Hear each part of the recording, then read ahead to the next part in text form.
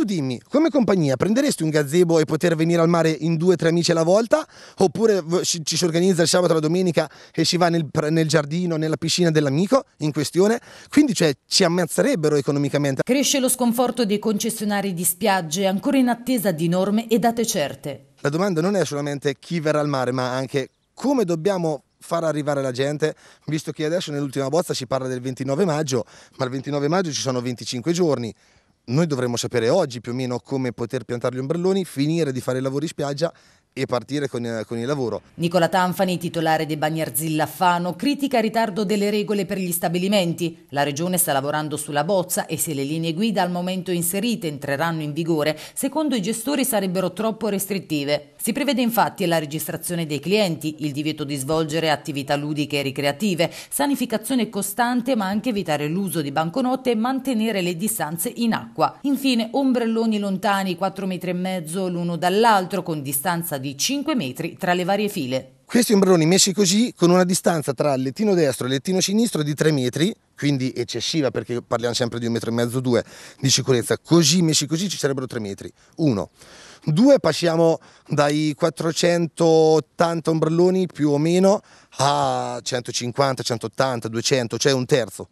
Una spiaggia come la nostra, io penso che quelle spiagge che hanno 100 ombrelloni faranno molta fatica, anche noi, noi faremo molta fatica a tenere aperto in base alle spese che abbiamo, demanio, IMU, Tari, eccetera, eccetera. Se queste spese dovessero rimanere fisse, veramente io e mia madre ci stiamo chiedendo se conviene aprire con questo numero di ombrelloni, con le attività tipo beach volley, il bar che lavorerà un 10% dell'anno scorso e questo io vorrei capire, che non si parlasse più di bozza, ma si parlasse di, di, cosa definitiva per fare i miei calcoli, per sapere se posso aprire oppure no. Sarà difficile, secondo Tanfani, garantire anche i giusti controlli. Sotto l'ombrellone, se mettiamo ipoteticamente possono stare due famiglie, se nel momento che sono insieme, chi è che deve intervenire? Io? Io faccio il bagnino o faccio anche lo steward quindi della spiaggia?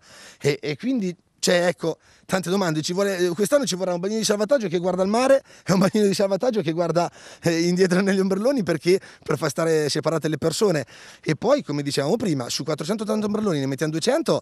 Adesso chi dice ai miei 284 clienti che non possono venire quest'anno che l'ombrellone non c'è? E poi un'altra, un'altra, domanda, queste 280 persone non trovando l'ombrellone possono andare in spiaggia libera o le spiagge libere saranno chiuse?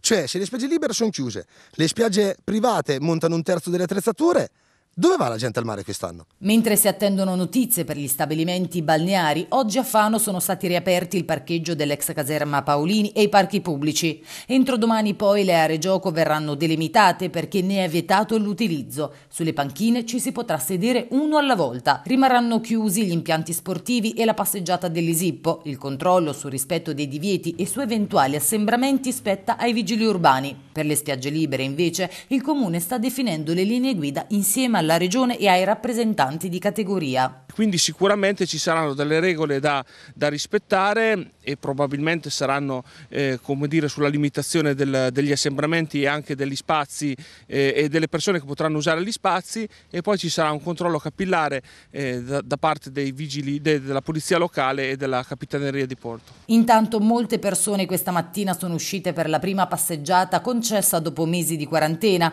Giovani e anziani già dalle 7 si sono recati in spiaggia per correre, camminare o pedalare, chi da solo e chi in compagnia di un amico a quattro zampe. Qualcuno poi non ha resistito e ha fatto il primo bagno in mare della stagione. Stamattina è la prima volta. Sì. Come si sta? Si sta molto bene, guarda che mare, è una meraviglia. Speriamo che tutti siano prudenti e che mantengano le distanze. Direi che è come tornare a vivere, troppo bello, sembra di volare, non c'è nessuno, il tempo bello, era ora di uscirne, adesso bisogna solo stare attenti. Di che quartiere è? Io sono di Pesaro.